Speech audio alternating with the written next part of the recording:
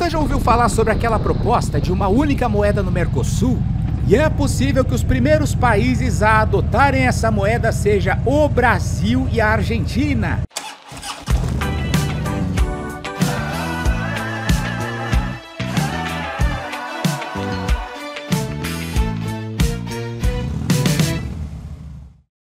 Pois é, pessoal, à primeira vista não parece uma má ideia. Se você parar para analisar a Europa, lá existe uma única moeda, que é o euro. Nós conhecemos, né? Todos os países lá da União Europeia utilizam essa moeda. E eu não sou contra, cara, essa proposta de uma única moeda. Porque se você parar para analisar, a proposta principal do Bitcoin é essa criar uma moeda global, uma moeda em que todos os países utilizem e tenham uma cotação global. Tá, mas e aí, quais são os prós e contras de ter aí uma moeda no Mercosul? Os prós seria é, mais facilidade para você não precisar estar tá fazendo conversão de, de moeda para cada vez que você for viajar. Utiliza essa única moeda para todos os países do Mercosul.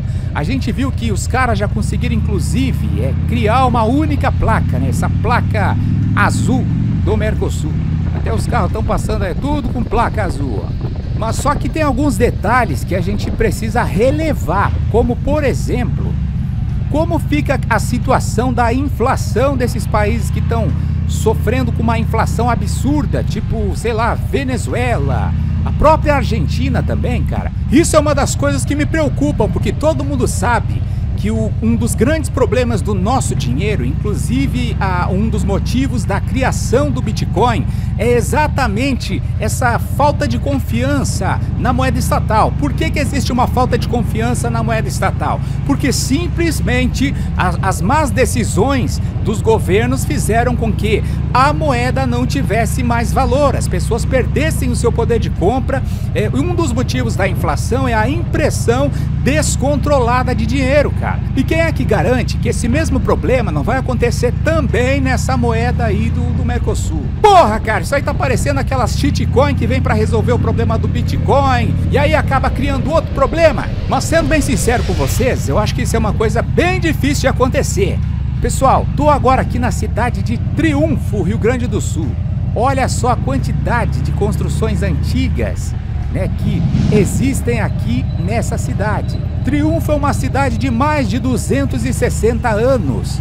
E aqui você consegue ver que, bem na parte do centro da cidade, foram preservadas algumas construções antigas, né, construções históricas. Olha só que bacana, tem até a igreja antiga. E aqui à direita, pessoal, lá no fundo tem um rio, o que eu quero mostrar para vocês.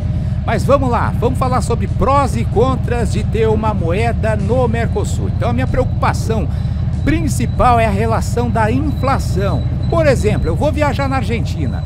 Pô, eu vou para lá, eu tenho um poder de compra maior. Como que ficaria essa situação do nosso poder de compra? E vice-versa, os argentinos aqui no Brasil. Como que fica o poder de compra dessa galera?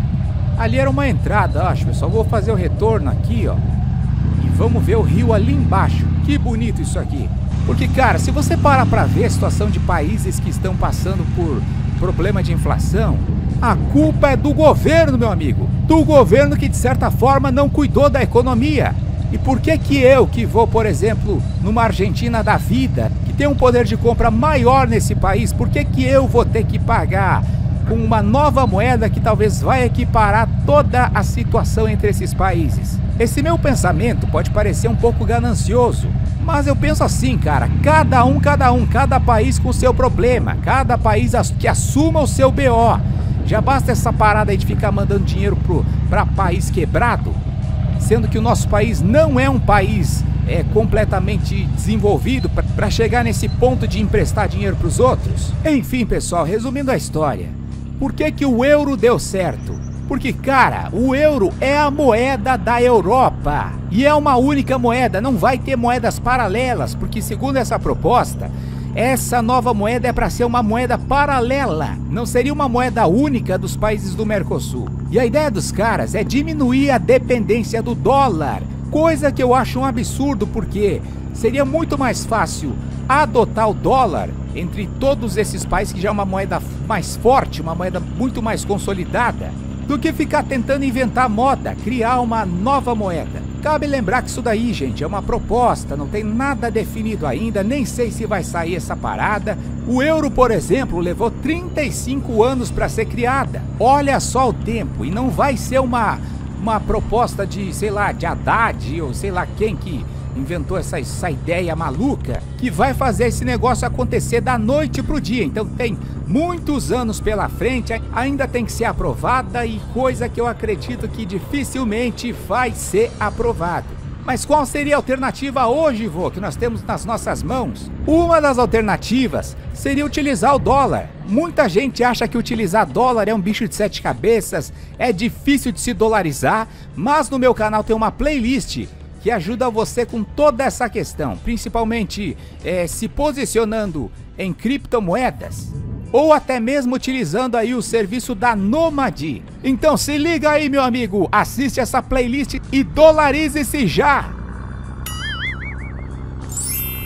Epa, menor da Chanel!